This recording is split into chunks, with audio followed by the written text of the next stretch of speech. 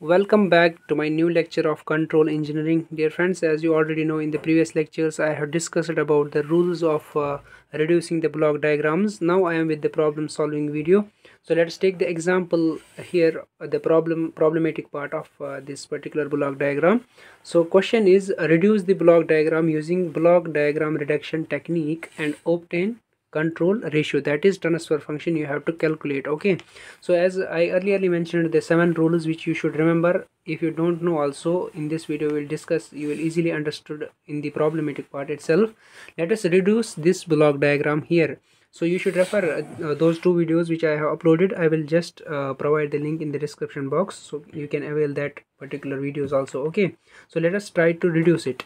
So first of all uh, you just observe here these are the two summing points and these two blocks are in series. You can easily combine these two blocks which are uh, if the uh, if these are in series if these are in parallel accordingly you can combine. So here i am observing uh, the two blocks are in series so i can combine it by multiplying it. So g1 into g2 it will become. So one box i am getting here that is g1 g2 so setup wise you have to go through combine blocks in series that is g1 and g2 i am observing here these are in this series. You can easily combine it okay? Rest of the diagram is same. H1 is feedback here and uh, here it goes to g4 g3 and summing point cs output function. And these are the feedback uh, feedback paths h1 and h2 rest of the diagram is same. I have just make one move here that is combining uh, these two blocks in series. This is the first step. Next step is combine blocks in parallel. I am observing here these two blocks are in parallel. So you can easily solve it. Also you can easily combine it.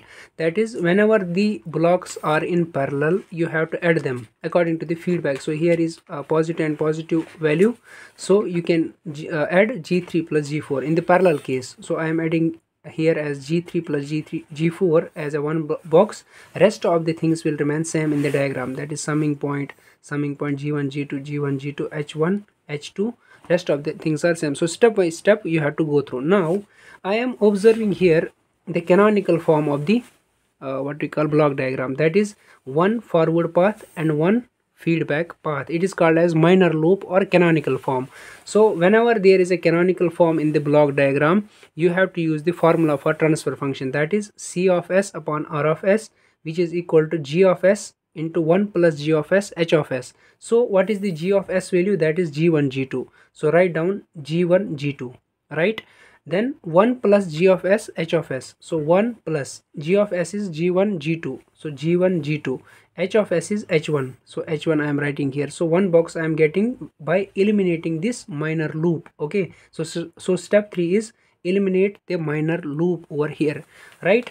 So next thing is uh, this g3 g4 is will remain same okay? And this c of s is as it is and this h2 is feedback remaining here. So this is your diagram. Now uh, if you are observing here these two blocks are in series now right? So you can easily combine it by multiplying these two terms.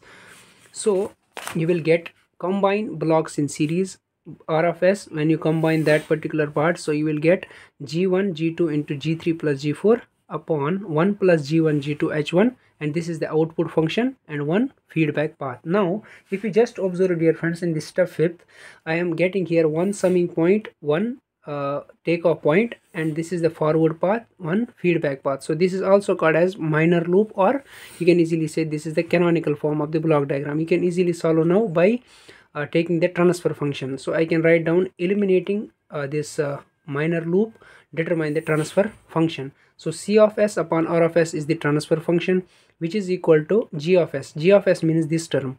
G1 g2 g3 g4 so i am writing here g1 g2 g3 plus g4 upon uh, 1 plus g1 g2 h1 so this is your whole g of s. Okay upon 1 plus g of s h of s. So 1 plus g of s is same this terminology g1 g2 g1 g2 g3 g4 upon 1 plus g1 g2 h1 and h of s is h2 so into h of 2 okay? By simplifying it you you check here g1 g2 g3 g4 as it is upon 1 plus g1 g2 h1 as it is right? Uh, then divided by.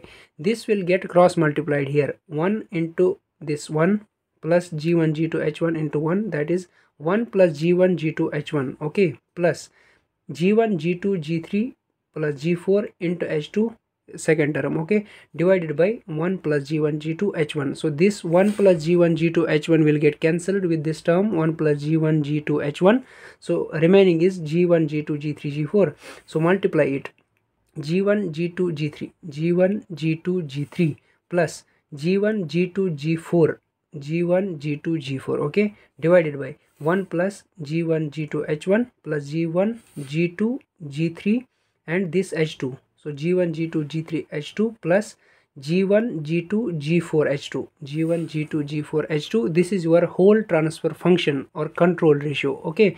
So the above equation is obtained for the closed loop transfer function. So r of s is equal to this uh, whole term you can write down and uh, at the end you can write down the uh, output c of s. This is your whole transfer function for this particular closed loop system. So i hope it is understood to you people dear friends. If it is beneficial video for you so share this video to all those friends who actually needed it. Thank you